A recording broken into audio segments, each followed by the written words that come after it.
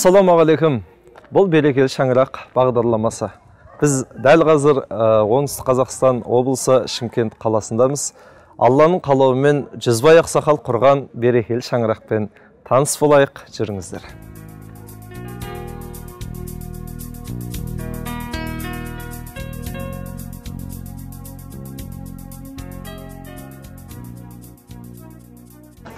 Ассалаумағалейкум.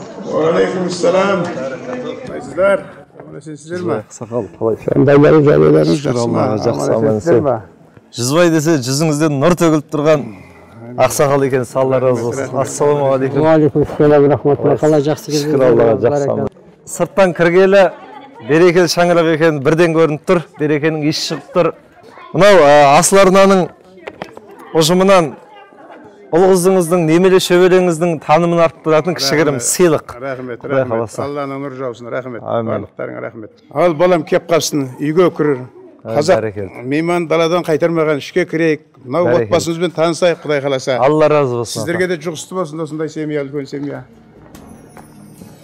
Отбасы оттың қасындағы жанұя ғана емес ол отанның бастауы болашақтың баспалдағы.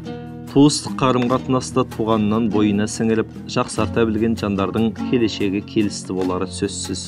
Үйінен өсиет тыңдап өнеге көріп шыққан баланың да далада адаспайтыны ақиқат. Үлкеннің үлгісі кішіге келешек сыйлайды. Сол үшін де қазақта қариясы бар елдің қазынасы бар дейді. Есімін естіген адам сондай бір қазыналы қартқа теңейтін жүзбай ақсақалдың да берекелі шаңырағын көзбен көрдік. Береке дегенді бірлік пен түсіністікті деп ұғынатын керегесін тік ұстап шаңырағын шайқалтпай тұрған өнегелі отбасы мырзашевтар әулеті. Алты ұл төрт қыз елу алты немере шөбере тәрбиелеп отырған жүзбай ата мен нұрпатша ананың елу жыл бұрын құрған отауы бүгінде үлкен даналықтың мектебіне айналғандай. Имандылық біздің басты байлығымыз. Әр бала бір бір жерге егілген көшет сияқты.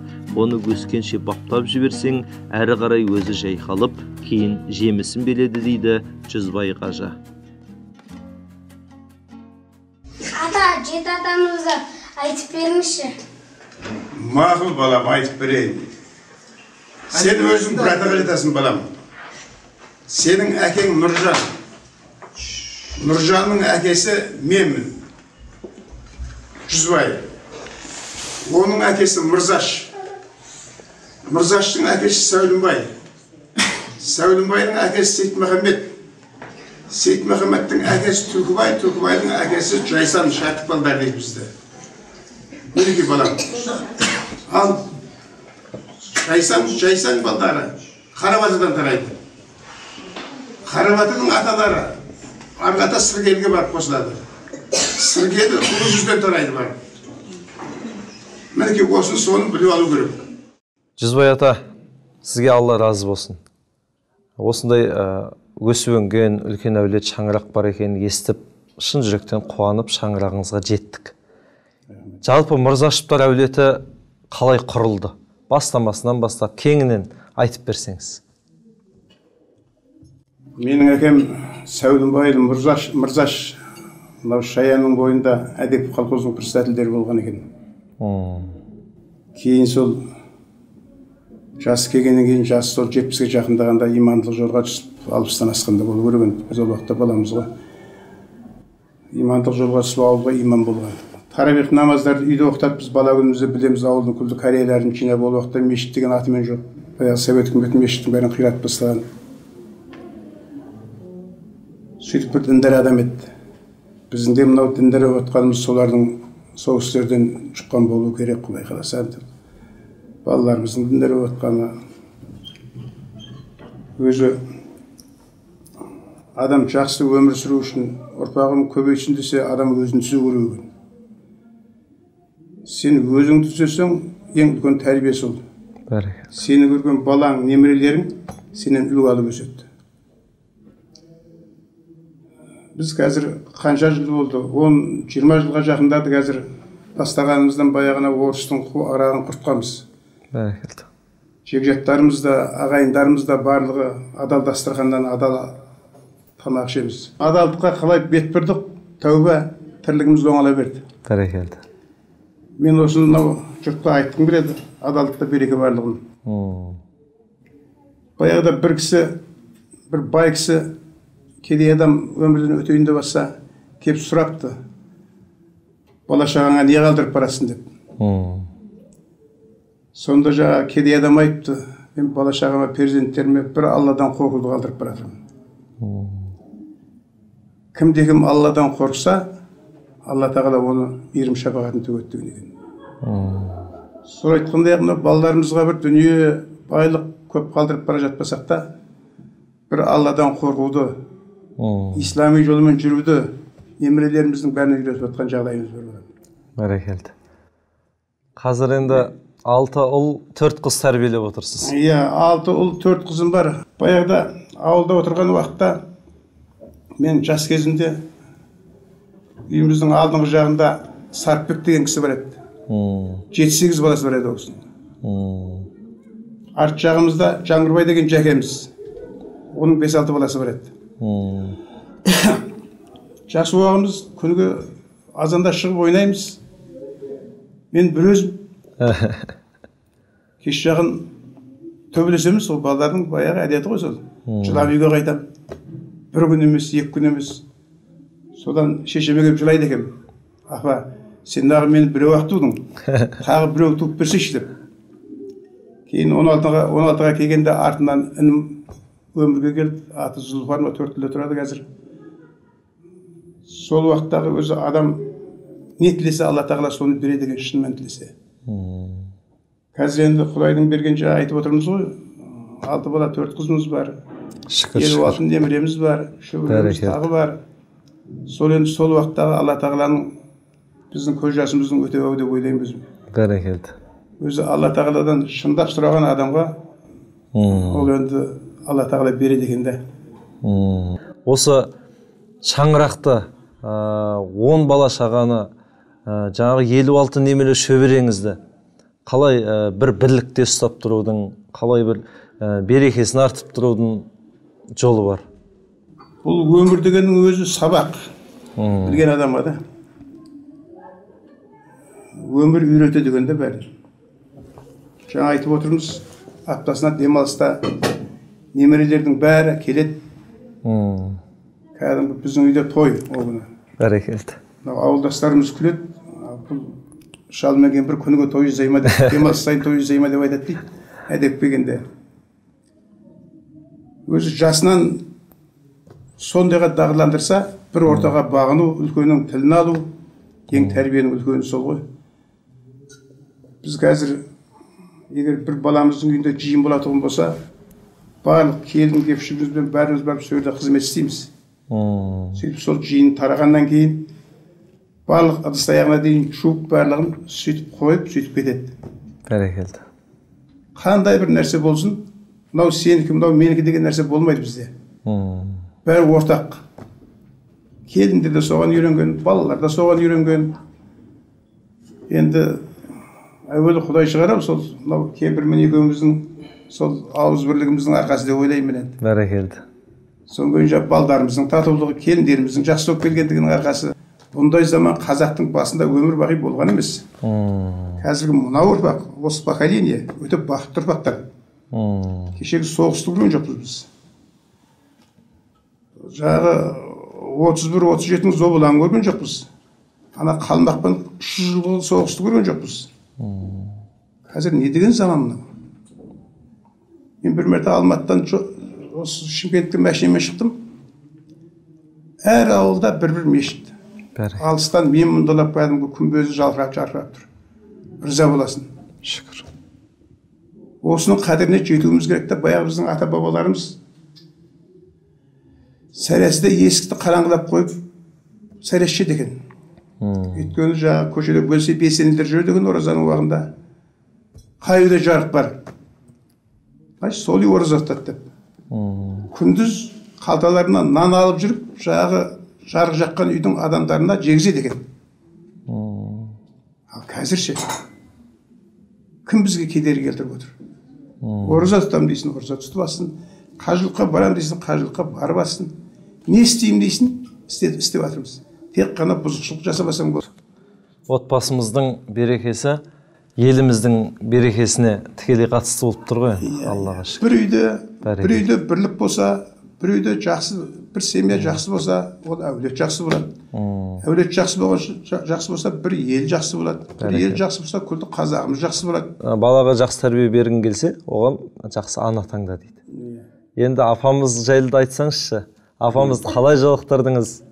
Ым, өзі біздің ауылда тоғыз жылдық мектеп тұғын ә, ар жағындағы сегіз жылдық. Ар жағындағы тоғыз онды ауылда мектеп жоқ сол кейін төрт тілде нағашымның қолында оқығанмын нағашым жарықтық жұмабеков зұфан деген кісі еді. Сол кісінің қолында жатып оқыдық төрт тілге қатынап оқыдық. Арасы бір үш шақырым төрт шақырым. Менің бір велосипедім бар еді сонымен жаңағы велосипедпен барамын велосипедпен келемін бәрекелді. Бұл қосарық деген жерде оқиды екен. Қосарық деген жерден қатынап оқиды мен қызылжар деген жерден қатынап оқимын. Қосарықтан бұның ағасы бір класста оқитынбыз екеуміз м, о. Да велосипедпен барады өте спортқа бейім еді былтыр марқұм болып жатқан жер жайлы болды мен де спортқа бейім едім. Велосипед жарысқа қатысамыз күреске қатысамыз бар неге қатысушы едік. сөйтіп екеуміз тату тәтті жолдас болып кеттік. Соған үйіне барады ол біздің жаңағы нағашымыздың үйіне кіреді. Сөйтіп жүріп қарындасына жолығып қалдық бәрекелді. Анау бұйырған кетпейді жүгірген жетпейді дейді сонымен тұздамыз жарасып қазір елу жылға таяу уақыт болды машалла бірге тұрып жатқан жағдайымыз бар өзі ер жігіттің қос оңбай ешқандай тірлік оңбайды адам өзі өмірде қателеспейтін нәрсенің біреуі осы жар таңдау тәуба сол жар таңдаудан қателеспе- қателеспеген екенбіз мынау балдардың да дұрыс болып жатқаны имандылыққа бет бұрып жатқаны немерелердің де осындай имандылыққа бет бұрып жатқаны әуелі құдай шығар ау осы екеуміздің арқамыз деп білемін. Енді бұл тәрбиеге көбірек көңіл бөлетін әйел жағы ғой бұл. Қыз баласы ғой. Бұл кісілер енді бұл кісілердің тәрбиесінің жемісі. Ер азаматтың үрейін әрқашан біздің алдымызда алда тұру керек. Бұл кісілер осы ер азаматым аман болса жаңағы тәуба осы өстіп жүргенінің өзінде маған үлкен қуаныш. Өйткені осы балдарымның бәрі бәрі отанымның бас иесі. Мен ер азаматты өте құрметтеймін. Ер азамат орны түзде дейді ғой. Сырттан келгенде ә, кейбір білдірмей қоятын ішкі сырларыңыз бар ма? Жалпы осы берекелі шаңырақта бірлікте ұстап тұрудың сыры неде ер азамат? Түзде кезде. Оның сыры ол бір бірімізден сыр жасырмауымыз керек біз. М, Ә, неге жасырамыз? Әр уақытта біз екеуміз жаңағы мәселені бірігіп шешеміз. Ол ұлдың мәселесі болсын қыздың мәселесі болсын мен бас иемнен ештеңені жасырмаймын. Екеуміз бірігіп шешуіміз керек бәрекелді. Енді жаңа атамыз бір сөзінде айтып өтті ғой. Бүкіл немере шөберелеріміз бала шағаларымыз ә, жексенбі сайын жиналып кейбір шешілмей жатқан мәселелерді де шешеміз деді сол жиналыста. Енді осы жиналысқа атамызға айтып отырасыз ба? Мына балаң бүйтті мына балаң бүйтті деген сияқты. Ондай әшіп кісі болса әрине жаңағы осы жерде бәрі ортаға салып ондай әшіп жасалмайды біздің немере шөберелеріміздің арасында. Бәрі мынау үлкен үлкен жолмен кішісі кіші жолмен жүреді. Мысалы үлкен баламыздың сөзін мына бес бала тақ тұрады оның сөзіне. Өйткені әкеден алған тәрбие. М, а, ал енді жаңағы келін үлкен келіннің сөзіне мына кіші келіндердің барлығы әрқайсысы өз жолымен жүреді ғой былайша айтқанда мен ана үлкен келініме былай тапсырма бергенмін жаңағы енді үй болғаннан кейін ыдыс сылдырамайтын үй болмайды барлық үйде болады ондай ал енді жаңағы үлкен келініме айттым енді мен араласпаймын мына бес келінді саған тапсырдым жай шектен шығып бара жатқан болса айтарсың одан бері мен араласпаймын бәрекелді. Керек десеңіз мынау енді қазан табаққа мына қазақта ет жасау деген болады ғой. Ондайды да мен араласпаймын өздері жасайды келіндер мен келіндеріме ризамын. А енді ондай ондай жаңағыдай не дейді енді ортадан шыққан келін жоқ та. Ондай сұрақ маған келіп түскен емес осы уақытқа дейін әлі. Бәрекелді. Өз бәрі бір ауыз өздері істейді өздері жуып шайып кетеді. Одан артық маған не керек ондай сол маған бақыттым енді құдайға тоба деп айтайын.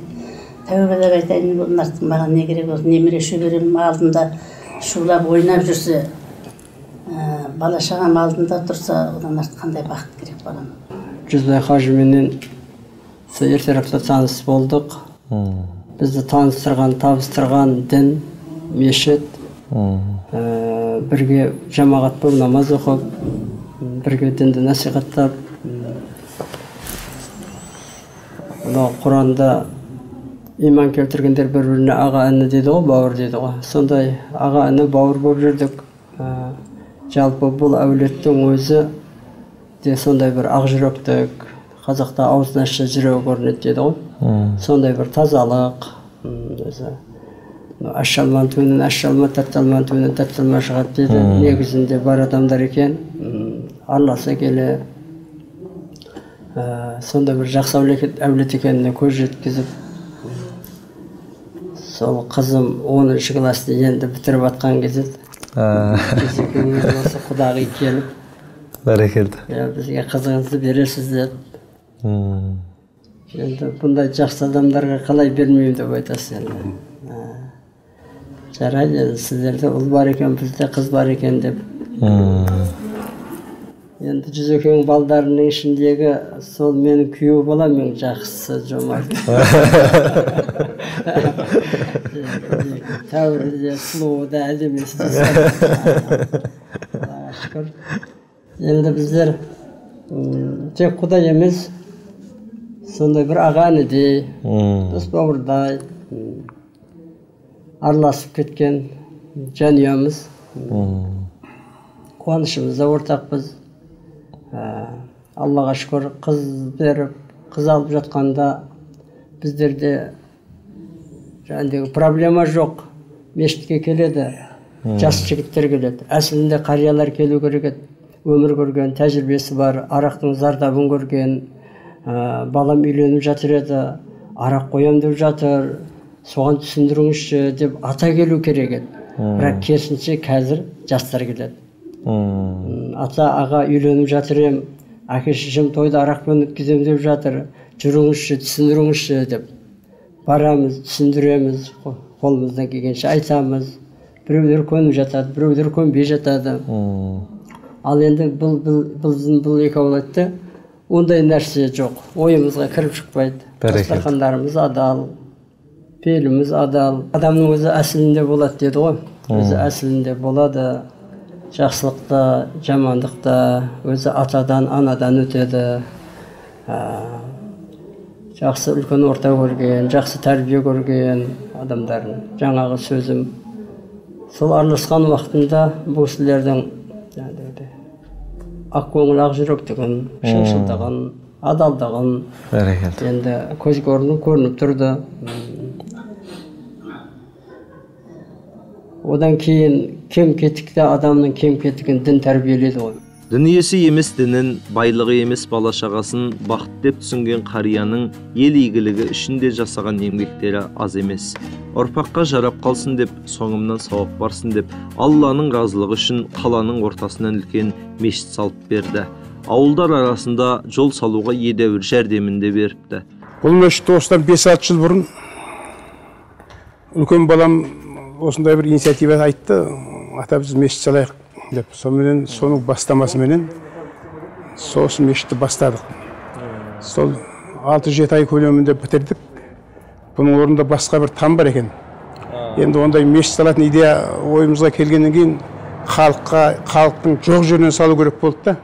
Сонымен осы қаланы аралап жүріп тура осы жерде мешіт жоқ екен. Халықтың ортасында болсын деп.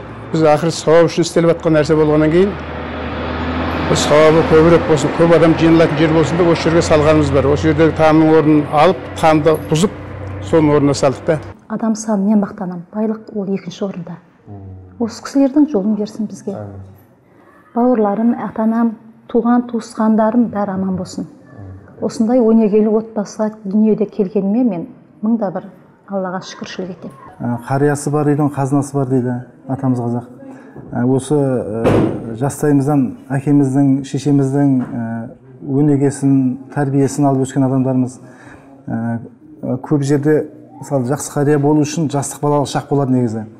Әкеміздің тура өзіміздей уақытысы есімде менің. Біз жас баламыз сол кезде әкеміз ауылға басшы тұғын сол кезде мен, бізді жұмысқа салатын мемлекеттік жұмысқа. Сол кезде айтатын еді енді әкең болғаннан кейін әкемізге бір көмек қылатын шығар деп қарайтын едік қой. Ол кісі жұттар қандай тура бізге де солай қарайтын тұғын сол кезде енді әкемізге жалтақ жалтақ қарап өйстіп қалатын тұғынбыз. Сөйтсек оның бәрі кейінге қалдырған тәрбиесі екен. Қазір сол тәрбиенің арқасында бізде көптеген көптеген ә, сабақтар алып көптеген көптеген жетістіктерге жеттік. Ал егер ә, ол жерде мысалы егер мынау менің балам деп есіркесе біз бұндай болмас па едік оны бір алла біледі. Енді осы кейде әке шешеміз біз он бала болғаннан кейін көпшілігінің әкеміздің қайда екенін кейде өзіміз таппай артына қуалап жүріп әрең алып келеміз үйге келгенде бір немерелеріне хадистер құраннан хадистен тек қана айтылатын өсиеттер балдарында бір біраз сабақ алып кәдімгідей сондай дәрежеге келіп қалады сол сияқты үлгілі қария болсақ деп өзіміз өзіміз де сондай қария болсақ деп кейде балдарымызға ақылымызды айтамыз әкес біз әкемізге құрмет тұтқан сияқты балдарымызға да сабақ ретінде бізде әкеміз келсе жақсы құрмет тұтып шешеміз келсе сондай құрметте боламыз постоянно үнемі үнемі сондай құрметте боламыз еліміздің тыныштығы үшін үйінің берекесі үшін аллаға мадақтар айтып отырған ақсақал қазіргі күнде ұрпағыма ұлағатымын деп шежіре жасап ата бабамнан қалған уағыздарды жинап кітап қалдырсам дейді. Жылуы көп үйдің жан жағына да шуағы шашырайтыны анық. Еліне елеулі ұлдары ұлағатты қыздары қанағатты отбасының берекесін артуын тіледік. Әке асқар тауың ана кәусар бұлағың бірі қорғаның бірі тұнығың. Әр отбасының тауы шағылмасын тұнығы былғанбасын еліміздің берекесін арттыратын берекелі шаңырақтар көп болғай. Қызбай ақсақал шаңырағыңызды көрдік. Аллаға сансыз мадақ сансыз шүкірлер болсын. Бұндай берекелі шаңырақты қалыптастыру қазіргі заманда кейбір кісілерге қиын болуы мүмкін. Бірақ сіз осындай талай күндерді артқа қалдырып керемет жетістікке керемет бақытқа жетіп жатырсыз. Енді сізден рұқсат болса біз жылжиық. алла разы болсын қалайындайын қажымаханым мынау елге халыққа қызмет ете беріңдер. Әмин алла разы болсын. асыларына ұжымына рахмет. Әмин асыларына ұжымын біз күндікті күнделікті тыңдайтын бәрекелді. Рахмет. Жолдарың болсын. Қай уақытта болса да айналайын. Құдай осы жақсылық барлықтарымызға жұғысты болсын. Ұрпақтарыңыз салиқалы иманды қари болсын әмин әмин шаңырағыңыздан береке үйіңізде мереке кетпесін рахмет рахмет рахмет. Жақсы ата алла разы болсын сізге. жақсы.